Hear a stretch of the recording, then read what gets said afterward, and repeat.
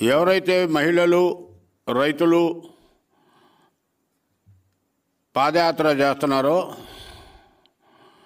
Police వాళ్ళు గత రాజమండ్రి కాడ నుంచి ఈ రోజు వరకు కూడా అనేక ఇబ్బందులు పెడుతూ నిన్న కూడా మహిళలకి దెబ్బలు తగ్గటం ఈ రోజున ప్రతి ఒక్కరికి కూడా కార్డు చూపించి యాత్ర చేపెట్టాలని పే- ఆదేశిస్తాం యాత్రని యాత్రని ఆపేయటం జరిగింది. నా ఆవేదన బాధ ఏంటంటే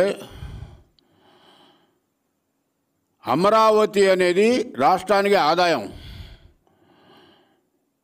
ఇరవై ఎనిమిది నుంచి ముప్పై వేల రైతులు త్యాగాలు చేసి స్థలం ఇచ్చారు. ముప్పై ఐదు వేల ఎకరాలు. వాళ్ళు ఉత్తరాంధ్రకి వ్యతిరేకమని కానీ ఉత్తర ఉత్తరాంధ్ర గురించి ఒక మాట కానీ ఎప్పుడైనా మాట్లాడారా? మీరు ఎందుకు ఉత్తరాంధ్రని సపరేట్ చేసి మా ఉత్తరాంధ్రకు ఉత్తరాంధ్రకి వచ్చి మా ఏరియాకి వచ్చి మాకు రెచ్చగొట్టే మాట రైతులు రెచ్చగొట్టే మాటలు మాట్లాడారా? మీరు రెచ్చగొడుతున్నారు నెల్ల బలూన్స్ చెప్పులు వాటర్ బాటిల్స్ వేసి రౌడీజం చేస్తుంది మీరు. పాపం అమాయక రైతులు. పిల్ల జల్ల ఇల్లు వాకిలి వదిలేసి వర్షం కూడా లెక్క చేయకుండా ఎండ కూడా లెక్క చేయకుండా అమరావతి రాజధాని దాన్ని ఖాయం చేయాలి. అందరు సహకరించమని ప్రజల్ని కోరుతూ పాదయాత్ర చేస్తుంటే దాన్ని గౌరవించాల్సింది పోయి ఒకడేమో రక్తపాతం అంటాడు ఒకడేమో మా ఏరియాలో రానివ్వని అంటాడు ఒకడేమో ఉత్తరాంధ్రలో వస్తే మీ పరిస్థితి మీ పని చూస్తానంటారు. ఏంటి మాటలు? నేను ఒకటే అడుగుతున్నా సూటికి. స్వయాన్న జగన్మోహన్ రెడ్డి అసెంబ్లీలో చెప్పడం జరిగింది. ఆ రోజు అపోజిషన్ నాయకుడుగా మంచి కార్యక్రమం మేము కూడా ఒప్పుకుంటున్నాం మేము కూడా సహకరిస్తామని. అధికారంలో వచ్చిన తర్వాత మాట మార్చారు. అసెంబ్లీలో చెప్పిన మాటని మళ్ళీ మార్చారు.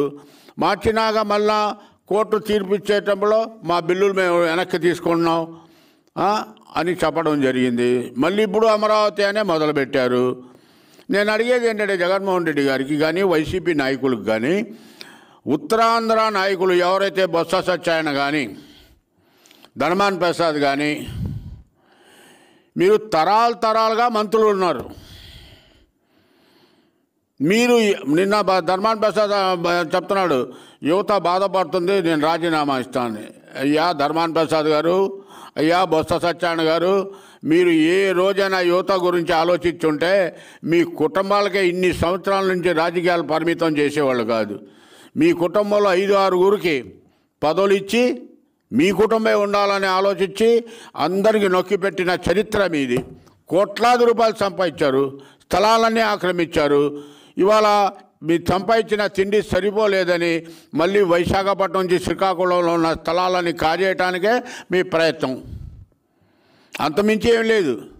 ఎట్లా వస్తుంది? అమరావతి కాకుండా నువ్వు మీరు చెప్పినట్టు వస్తుందా?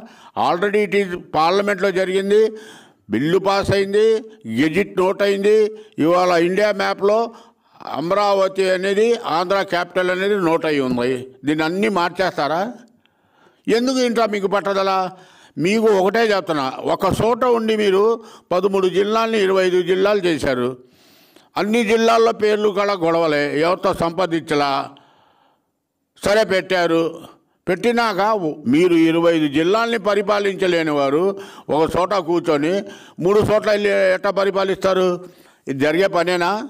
ఇప్పటికి మూడున్నర సంవత్సరాలు అయింది అరే సిగ్గు రాట్లే సిగ్గు రావట్లేదా మీ యదవులకి?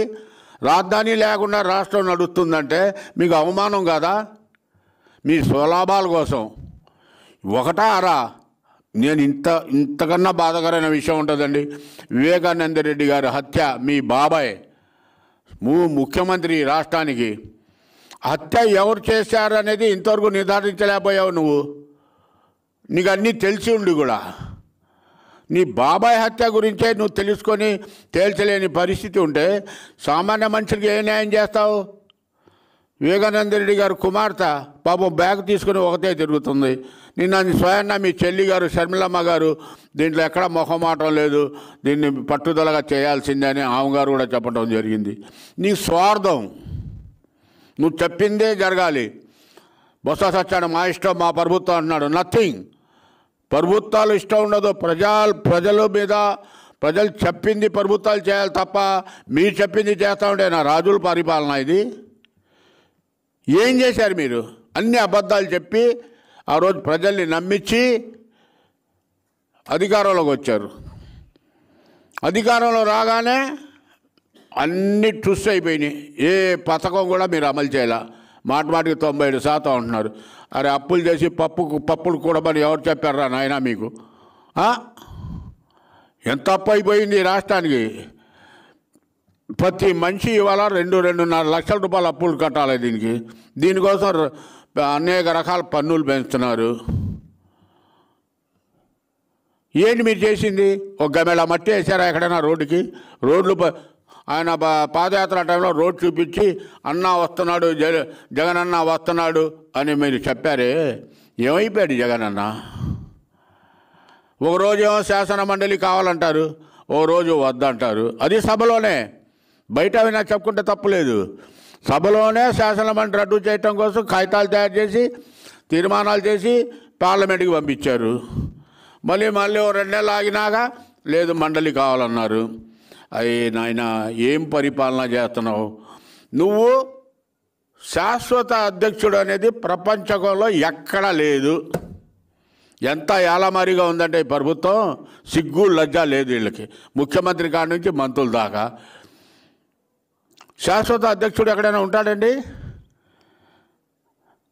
రెండు సంవత్సరాలుగో రెండు సంవత్సరాలుగో మూడు సంవత్సరాలుగో ఎన్నికలు జరుపుకోవాలి. ఎట్టాగో నీ మనుషులే ఉంటారు కాబట్టి నువ్వు ఎద్ద అధ్యక్షుడిగా ఎన్నిక అవ్వాలి మళ్ళీ ఇప్పుడు ఏమన్నారు బొత్స సత్యాన్ని నాకు తెలియదు అది నాకు తెలియదు నోటీస్లో లేదంటున్నాడు. ఏంటి పరిపాలన?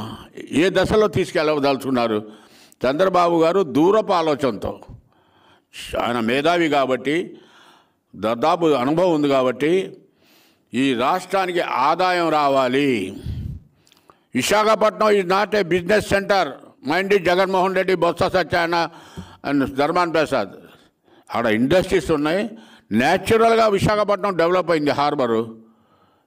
ఒక పని చేయండి మీకు దమ్ము ధైర్యం ఉంటే మీ కాంగ్రెస్ హయాంలో కానీ లేదా ఈ మూడున్నర సంవత్సరాలు వైసీపీ వైఎస్ఆర్ పార్టీలో కాలంలో కానీ తు- ఉత్తరాంధ్ర కోసం మీరు ఎంత ఖర్చు పెట్టారు?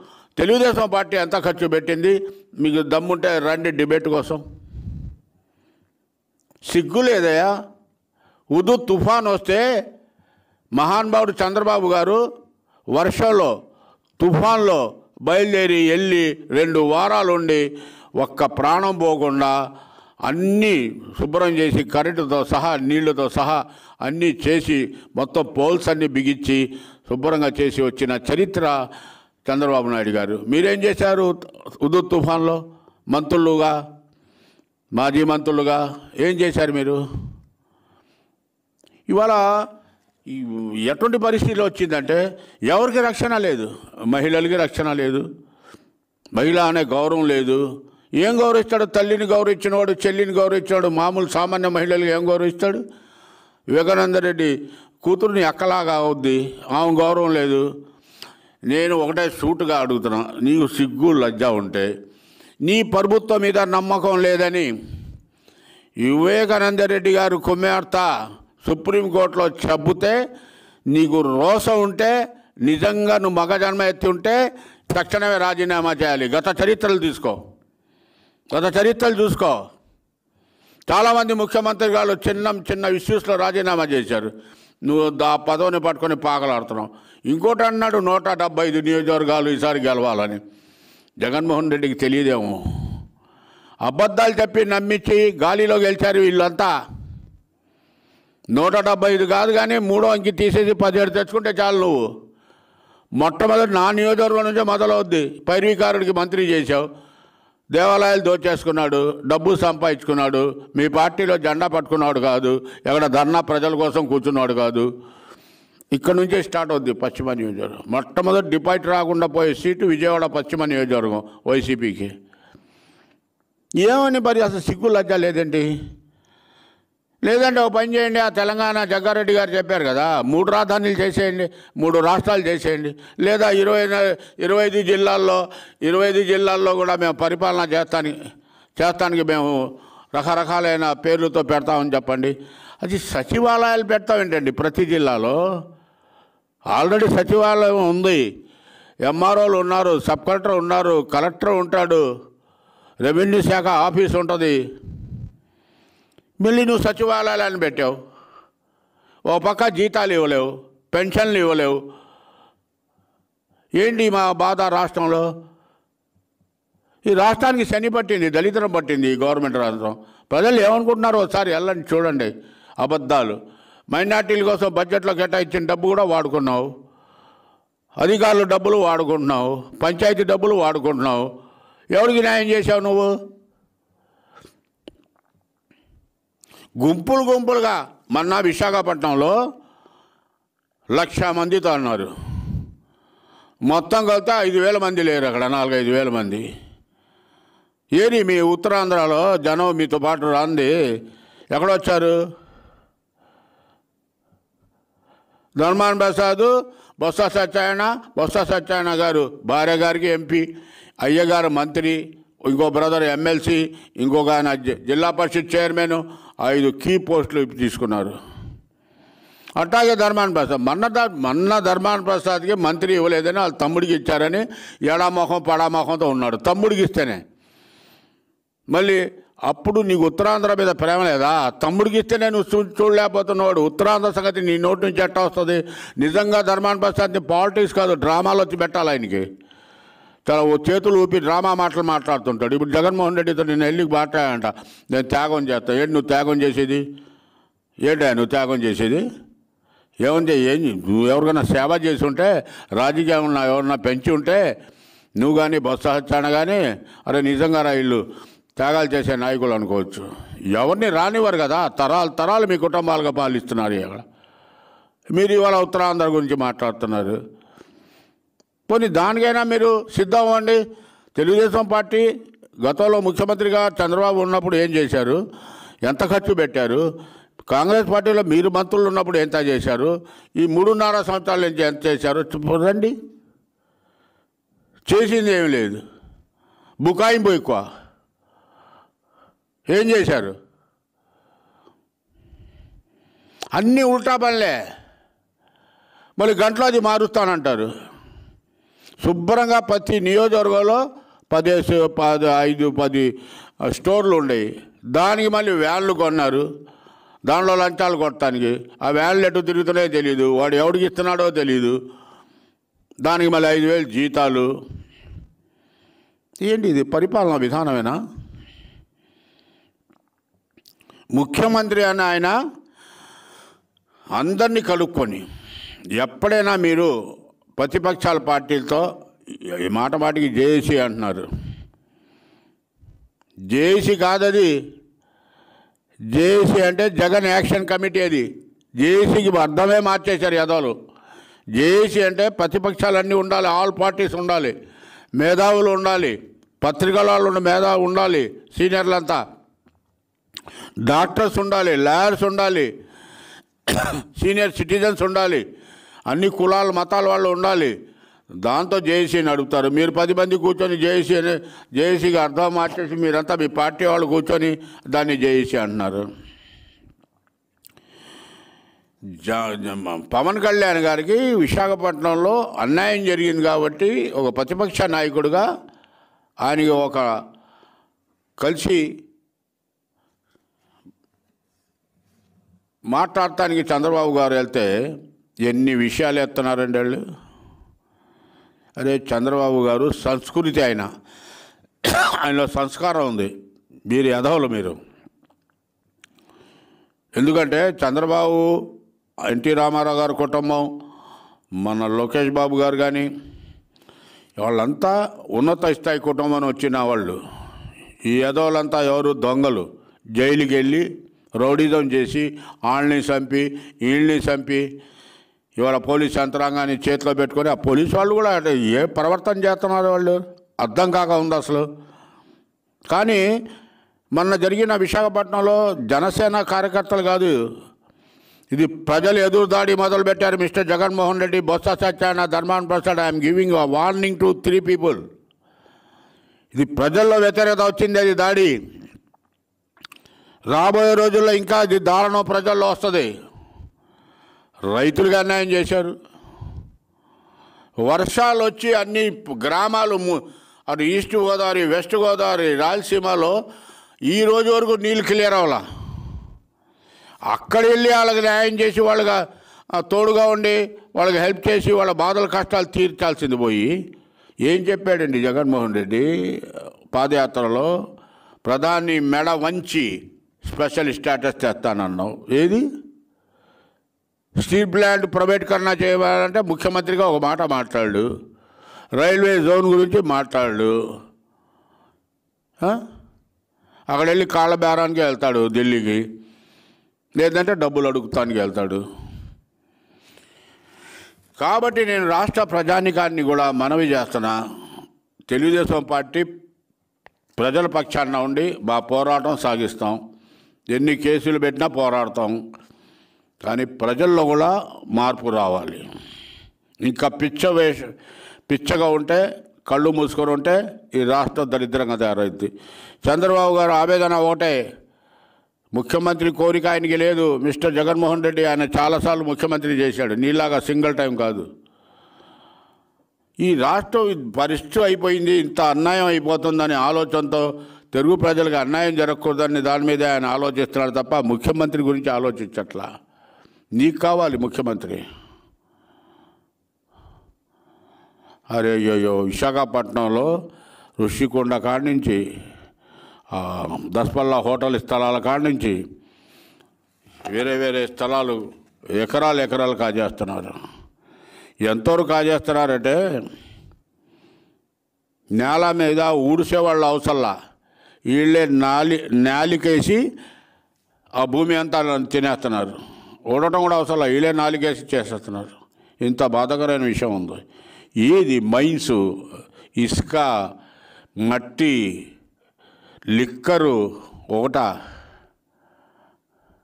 ఇగో ఫలానా చేశాను మంచి పని. ఆ పెజాబేదిగా కూల్చడం నీ పని కూల్చటం తిట్టడం లేకపోతే అరెస్టులు చేయటం దౌర్జన్యం చేయటం. ఎంత బాధకరమైన విషయం అండి. ఒక మహిళ నీ ఆ- స్వయాన్న నీ అక్క అవుద్ది వాళ్ళ నాన్నగారు నీ బాబాయ్ చచ్చిపోతే ఈ రాష్ట్రం పరిపాలన మీద నమ్మకం లేదు ఈ పోలీసు వాళ్ళ మీద నమ్మకం లేదు వేరే రాష్ట్రాల్లో నాకు పెట్టమంటే ఇంతకన్నా సిగ్గు లజ్జ ఉందా? నీకు అవమానం ఉందా? ఇంకో రోసం కలిగిన వాడైతే నిమిషంలో బయటకు వచ్చేస్తాడు. ఈ పరిపాలన వద్దు నా బాబాయికి మా అక్కకి అన్యాయం జరిగిందని. నువ్వు చేసిన పని ఏంటి? మాట మాట ఇచ్చే ఊపి ఇట్ట మాట్లాడతాం కాదు. అది గొప్పతనాలు అనుకుంటున్నాము నువ్వు చెప్పిన ఎన్ని అబద్ధాలు అనేది రుజువు అయిపోయింది ప్రజలకి. అటు మైనార్టీలు బీసీలు ఎస్సీలు వీళ్ళు వచ్చినాక ఏంటంటే కులాలు మతాలు ప్రాంతాలు అన్ని దోషాలు పెంచారు. ఉత్తరాంధ్ర గురించి మనం వైసీపీకి తెలుగుదేశం పార్టీ కానీ ఇంకో పార్టీ కానీ ఉత్తరాంధ్రకి మేము వ్యతిరేకం ఎక్కడైనా ఒక మాట మాట్లాడామా? ఒక చోట కూర్చొని పరిపాలన ఉత్తరాంధ్రకి చేయను ఆయన అన్ని చోట్ల చేయి. మీరు కల్పిత కథలుగా పెడుతున్నారు ఉత్తరాంధ్రకి వ్యతిరేకం. ఉత్తరాంధ్రకి మేము వ్యతిరేకం కాదే. ఉత్తరాంధ్ర మందే రాయలసీమ మందే. ఇది సెంట్రల్ ప్లేస్ బిజినెస్ ప్లేస్ ఇది. చంద్రబాబు గారు ఆలోచన ఏంటంటే హైదరాబాద్లో పాత ఓల్డ్ సిటీని కాకుండా హైటెక్ సిటీ పెట్టి సైఫరాబాద్ అని పెట్టి ఇంతకుముందు ఏముండేది అంటే హైదరాబాదు? ఆఫీస్ నుంచి చార్మినార్ వరకే. ఈ రాష్ట్రాన్ని ఆదాయం రాయాలి ఉమ్మడి రాష్ట్రానికి ఆయన సైఫరాబాదు హైటెక్ సిటీ కట్టి దాన్ని ఆదాయం వచ్చేట్టు చేశాడు. అదే ఆలోచన ఈ తరం కనుక చంద్రబాబు గారు ఉంటే ప్రపంచవ్యాప్తంగా అమరావతిలో ఉండేది ఇవాళ. దాన్ని ఎట్ట తయారు చేశారు? దొంగతనాలు జరుగుతున్నా పట్టుకోట్ల? చాలా బాధకరమైన పరిపాలన జరుగుతుంది. నా బాధ ఏంటంటే ఆంధ్రప్రదేశ్ రాష్ట్రంలో కూడా పౌరుషం ఉండాలి. జరుగుతున్న అన్యాయాన్ని మీరు కూడా రోడ్ల మీద రావాలి. ఈ తెలుగుదేశం ఒకళ్ళకే సంబంధించింది కాదు లేదా పవన్ కళ్యాణ్ గారికి సంబంధించింది కాదు. మీరు బూతులు మాట్లాడిన రోజు మర్చిపోయారా? రెండవది తెలుగుదేశం ఆఫీస్ మీద దాడి చేశారు. తెలుగుదేశం నాయకుడు ఇంటి మీద దాడి చేశారు. ఎవరిని వదిలారు మీరు? ఇంతవరకు కేసులు పెట్టలా. ఆడ కేసు త్రీ నాట్ సెవెన్ పెట్టి వాళ్ళకి నానా ఇబ్బంది పెట్టారు. ఇది ఎక్కడైనా చట్టం చట్టంలో పోలీసు వ్యవస్థ అనేది ప్రభుత్వానికి మీకు అరవై శాతం సపోర్ట్ చేసుకొని తప్పులేదు. మరీ దారుణంగా ఆయన చెప్పినట్టు చేస్తే ప్రజలంటే కూడా పోలీస్ అంటే కూడా ప్రజల్లో గౌరవం పోతుంది ఈరోజు. పోలీసు వస్తే జనం పారిపోయేవాళ్ళు. ఇవాళ అట్ట కాదు ఎదురు నుంచున్నారు నించున్నారు ప్రజలు. పోలీస్ శాఖ కూడా ఆలోచించాలి దీని గురించి. ప్రభుత్వం ఎట్టాగా బాగుపడదు అయిపోయింది వాళ్ళ సీను. అది అనుకుంటున్నాడు ఆయన నూట డెబ్బై ఐదు వస్తాయి. నూట డెబ్బై ఐదు కాదు అది గాలిలో వచ్చిన నూట డెబ్బై నూట యాభై ఒకటి. ఇప్పుడు నూట యాభై ఒకటి కాదు సింగిల్ డిజిట్ కూడా కష్టమే మీకు. ఎవడయ్యా మీలో నాయకుడు? చరిష్మా కలిగిన నాయకుడు మీకు ప్రజల్లో వెళ్ళి వ్యక్తిగతంగా కనీసం ఒక ఇరవై పాతిక వేలు ఓట్లు తెచ్చుకునే ఒక మంచి పేరు చెప్పండి. ఇదంతా గాలి. ఎదోలంతా మళ్ళీ ఎమ్మెల్యేలు మంత్రులు. కాబట్టి ప్రజలు ఆలోచించాలి. ఈసారి మేము తెలుగుదేశం పార్టీ తరఫున ప్రజలకు ఓటు అడగం. మీ మేము వెళ్తాం మీ వాళ్ళ బాధలు తెలుసుకుంటాం. మీ కష్టం తీరాలంటే మీరు ఆలోచించుకొని ఓటేయాలి. కాబట్టి ప్రజల్ని కోరుతున్నా మీరు ముందు రండి పోరాటం చేయండి మాతో పాటు లేదా మీరు వ్యక్తిగతంగా చేయండి. చంద్రబాబు గారు ఆలోచన ఏంటంటే అన్ని పక్షాల వాళ్ళని మేధావుల్ని అందరినీ కలిసి మా పోరాటం చేద్దామని మొన్న పవన్ కళ్యాణ్ గారికి చెప్పడం జరిగింది.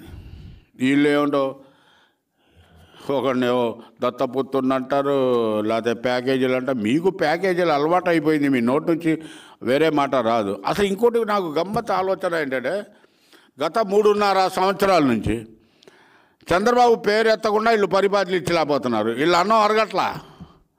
చంద్రబాబు పేరు చెప్పాలి వీళ్ళు అరే నాయన మీకు అధికారం ఇచ్చారు మూడున్నర సంవ- ఇంకా చంద్రబాబు ఎందుకు మీకు?